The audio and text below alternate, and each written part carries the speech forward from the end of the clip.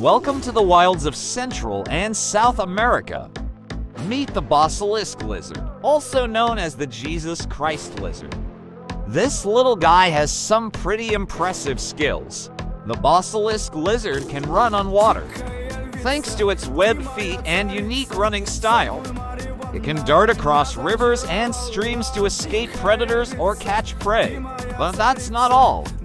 The basilisk lizard can also hold its breath for up to 30 minutes, allowing it to hide underwater from danger or wait patiently for prey. And if that's not impressive enough, the basilisk lizard can even change color to blend in with its surroundings, making it an expert at stealth. The basilisk lizard is a true marvel of nature, if you ever find yourself in the jungles of Central or South America, keep an eye out for this little guy. Like and subscribe for more.